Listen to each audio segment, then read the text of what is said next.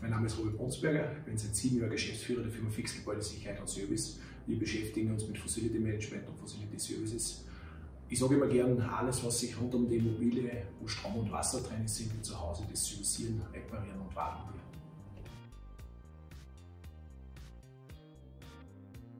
Ich bin eigentlich ganz klassisch Volksschule, Hauptschule gegangen und nach der Hauptschule eigentlich gesagt, äh, ich mag nicht mehr in die Schule gehen. Ich hatte den Vorteil, am Anfang war es nur ein Nachteil, die Vorschule besuchen zu müssen und daher wurde mir quasi das letzte Schuljahr angerechnet mit dem Polytechnischen Lehrgang nicht mehr machen müssen, Gott sei Dank, und habe mir dann eigentlich gleich eine Lehrstelle gesucht. Und da war schon die erste Aktion.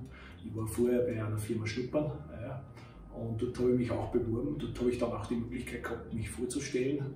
Und dann war ich heute noch mit meiner Mama bin ich hingegangen und habe mich dort beworben und habe dann den Job gleich gekriegt. Und wie es dann ausgeht, bei der Firma hat sie gesagt, jetzt muss die anderen Bewerbungen absagen. Und ich habe gesagt, ich habe keine anderen gemacht, ich habe mich nur da beworben, mehr oder weniger. Und dann hätte es mir quasi, trotzdem als gegenüber von der Quelle in der Industrie, hätte es mir bald noch eine runtergehauen. Ja. Ich habe gesagt, du hast ja wirklich einen Klick und habe ich den Job gehabt. Ja. Und dort habe ich dann eigentlich die Lehre begonnen. Das war die Firma Heinzel, damals ein aufstrebendes Unternehmen, auch heute noch äh, in Linz und habe dort äh, Elektroinstallateur gelernt, also klassisch Hauselektroinstallationen. Und bin dann gleich relativ rasch nach Wien gekommen und habe dort Wohnbauten installiert. Das war natürlich ein Riesenerlebnis für einen jungen Burschen, äh, nach Wien in die große Stadt, Montag bis Donnerstag Freitag zurück und das war immer dann mit vielen Leid und große Projekte eine interessante Aufgabe. War es auch immer spannend, weil man eigentlich in alle Bereiche hineinschnuppern hat dürfen bei den Unternehmen. Also ob es jetzt Stahlbau war, ein Lager, man war irgendwann einmal in der Intertechnik. Also ich war mal so Panzer verkabelt und so Abschussrampen testen dürfen und mit Panzer quasi simuliert mit echten und die testet.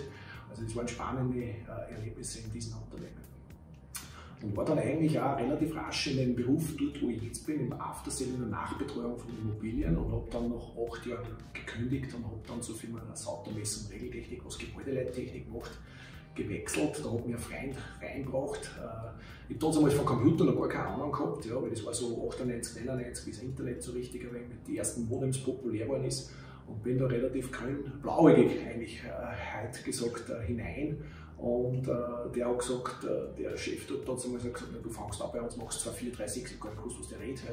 Und bin dort eingestiegen und war es heute noch, da war ich bei SKF, beim Kugellager Werk und da haben wir die Inbetriebnahme gemacht und ich habe die Hardware checkt, was ich als Elektriker gekannt habe, die Brandschutzklappen oder die Beleuchtung, was wir ein- und ausgeschaltet haben etc.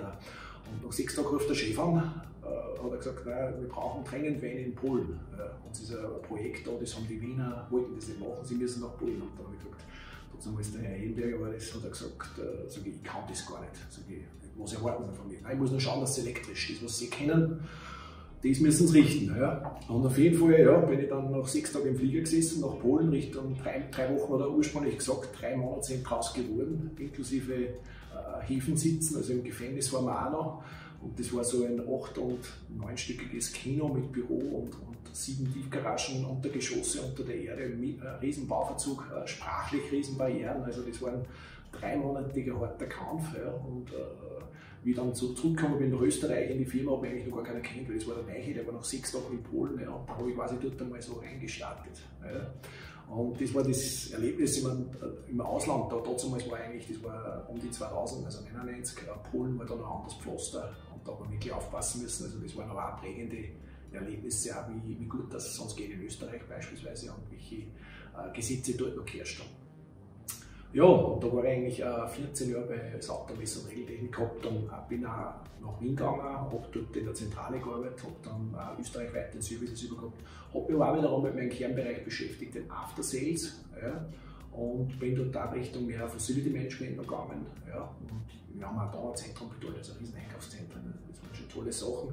Habe dort auch, ich sage es ganz salopp, alles machen dürfen, was Gott verboten hat. Also man hat mich ertragen, man hat mich aber auch mitgetragen, also es war eine ganz tolle Geschichte. Und, und ich bin dann vor, unter Pineda da in die Unternehmensgruppe bin ich gekommen vor sieben Jahren, wie schon erwähnt, äh, und habe dort ja, das war schon mein Kunde, die Eigenimmobilienbetreuung. Damals hat man mich gesucht für die Fix in der Geschäftsführung und dann sind wir zusammengekommen. Ja. Und die Fix war am Anfang irrsinnig äh, finanziell und, und, und, und, geschäftstechnisch am Boden. Ja. Da haben sehr viele Mitarbeiter das Unternehmen verlassen, haben sich selbstständig gemacht.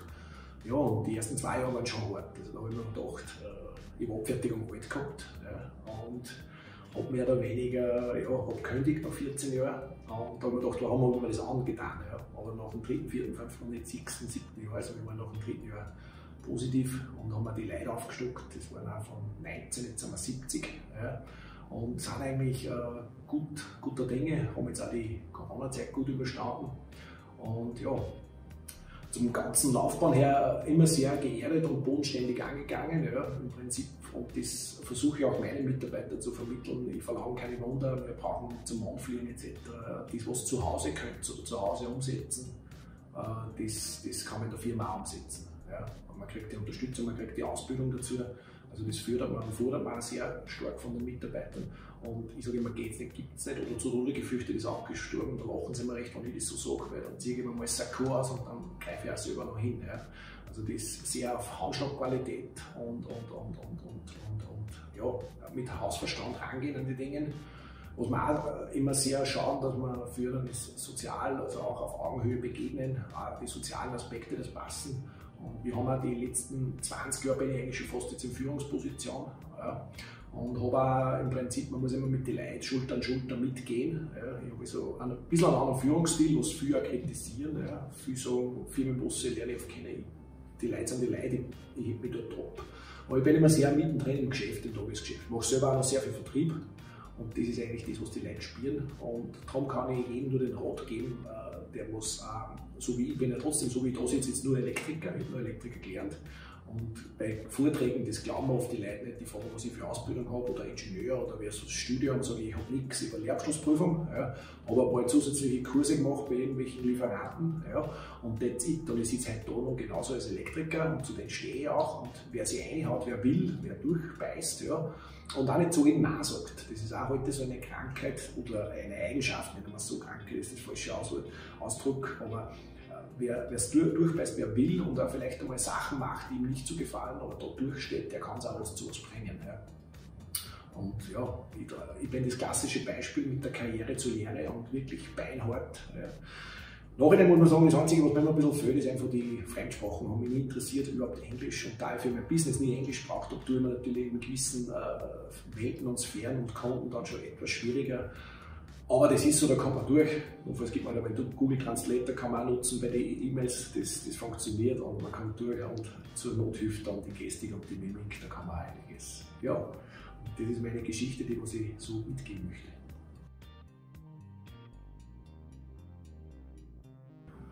Besonders inspiriert auf meinem Weg nach oben. Ja, das waren immer äh, in, in der Ausbildungszeit eigentlich Vorgesetzte, ja, die was mich trotzdem auch nicht immer mit Samthandschuhen äh, äh, mehr oder weniger äh, gefordert, gefördert und gefordert haben, um das richtig auszudrücken, äh, waren aber auch Mitarbeiter und Kollegen, also Kollegen eigentlich damals noch, mit denen was ich äh, die Ausbildung gemacht habe, die, was man, wo man gemeinsam Schulter an Schulter hochgegangen ist. Ja. Und es waren auch Kunden, die was uns inspiriert haben, weil wir einfach gute Ideen auch zum Teil gehabt haben in gewissen Dienstleistungen. Und die waren halt alle Wegbegleiter, sind es also auch heute noch. Ja. Und meine Philosophie auch immer wieder äh, ich habe mir nie dir ganz zu. Ja. Egal mit wem das ist Streit oder wenn es einmal Diskussionen gibt oder auch wenn man mal einen Mitarbeiter kündigen muss, warum auch immer. Äh, man muss immer so weit offen bleiben, dass man sagt, äh, man kann den noch auf der Straße begegnen und, und, und, und, und der kriegst an und sagt, hey, wie geht's? Ja. Und, und das sind eigentlich die Personen, die was man, die was man rundherum schürt um sich die haben uns eigentlich, die haben mich eigentlich groß gemacht ja, und, und auf den Weg begleitet. Natürlich waren ein paar Vereine auch noch dabei, wo ich tätig war, klassische Landjugend oder Sportverein. Das waren auch Dinge, wo man immer wieder dann hat man sich Inputs geholt von anderen Unternehmen oder von Freunden oder da hat wer einen Mitarbeiter gehabt, der hat einen Job, braucht der oder, oder ja, unterschiedliche Themen. Äh, und das ganze Umfeld eigentlich, wo ich aufgewachsen bin, auch wiederum sehr familiär und, und geerdet, ja, äh, hat mich eigentlich dahin gebracht, wo ich heute stehe.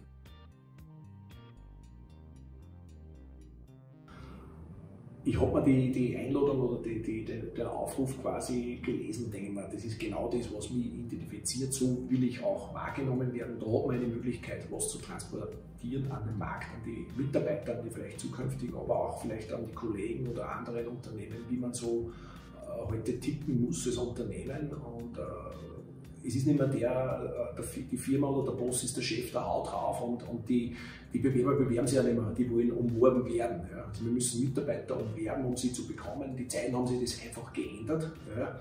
Und äh, das muss man ein bisschen äh, zu den Mitarbeitern rauskommunizieren. Ja. Und äh, dann kriegt man auch ganz andere Bewerber. Das ist für mich immer so ein Hauptpunkt gewesen, wo ich gesagt habe, einfach das, äh, die, die Idee hat mich überzeugt davon, äh, wie es kommuniziert wird dass man da was bewegt. Auch. Warum haben wir diese Lampe ausgesucht? Ja, die ist ein bisschen retro und äh, ich sage einmal so, äh, es ist immer alles, was neu ist, ist zwar klasse und ich bin auch nicht einer, der was am Trend der Zeit äh, vorbeigeht. Also ich schaue mir auch die Features an, was es heutzutage gibt. Ja. Aber das alte ist auch nicht immer schlecht. Ich sage so. Und die gute Mischung äh, macht es halt einfach aus. Ja. Siehe ja ein Beispiel der Digitalisierung. Wir nehmen uns raus, was wir brauchen und das andere lassen wir links liegen. Ich sage es ganz salopp. Ja. Und wenn man da eine gute Mischung zusammenbringt zwischen alt und neu, ob das jetzt von Dienstleistungen, Produkten, Apps oder Geräten oder auch Menschen, ja, wenn man da eine gute Mischung zusammenbringt, dann, dann macht das Leben, das macht dann das lebenswert also und einfacher.